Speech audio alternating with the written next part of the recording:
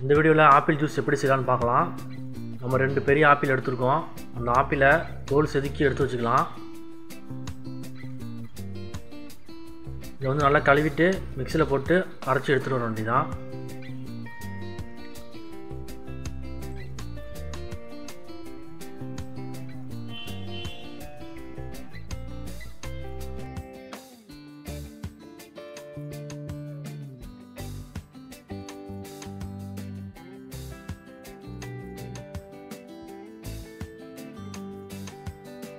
பார்த்திங்கன்னா சுவையான apple juice தயாராகிட்டு இது நீங்கள் வீட்டில் ட்ரை பண்ணி பாருங்கள்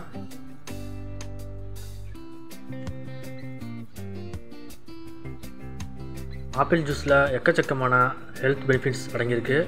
நாளைக்கு நம்ம வேற ஒரு வீடியோட சந்திக்கலாம். நன்றி.